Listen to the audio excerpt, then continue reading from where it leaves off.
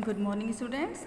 Yesterday we have discussed about the groceries of chapter 3. Today we will discuss the question answers of chapter 3 and the chapter 3 is the book shop.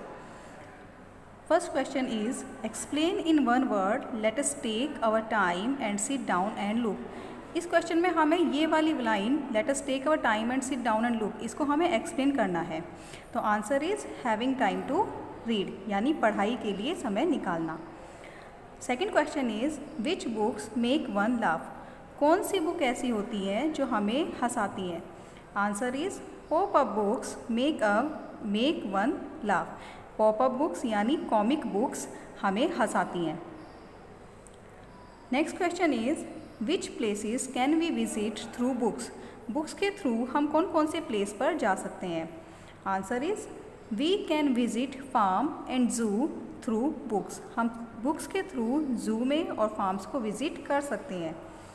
Next question what kind of books can be taken in bath नहाते समय अगर हम ले जाना चाहें तो हम कौन सी बुक्स लेकर जा सकते हैं? Answer is waterproof books can be taken in the bath जो वाटर प्रूफ बुक्स होती हैं, वो हम बाथ के समय ले जा सकते हैं। Next question is where can we get many books to choose from हमें बहुत सारी बुक्स चूज़ करने के लिए कहाँ से मिल सकती हैं? The answer is we can get many books to choose choose the book shop और from द लाइब्रेरी ओके हमें लाइब्रेरी से या फिर बुक शॉप से बहुत सारी बुक्स चूज़ करने के लिए मिल सकती हैं। Next question is what is a book full of words called एक ऐसी बुक जो वर्ड्स से फुल होती है, वो क्या कहलाती है? Answer is a book full of words is called dictionary वो बुक डिक्शनरी कहलाती है।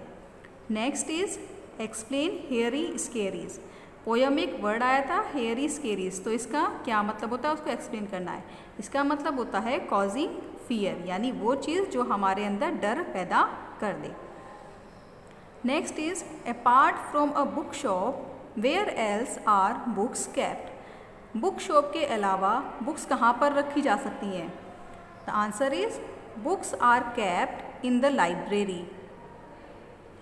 Books हमें बुक शॉप के अलावा लाइब्रेरी में भी मिल सकती है। Okay student so do this work in your notebook and also learn thank you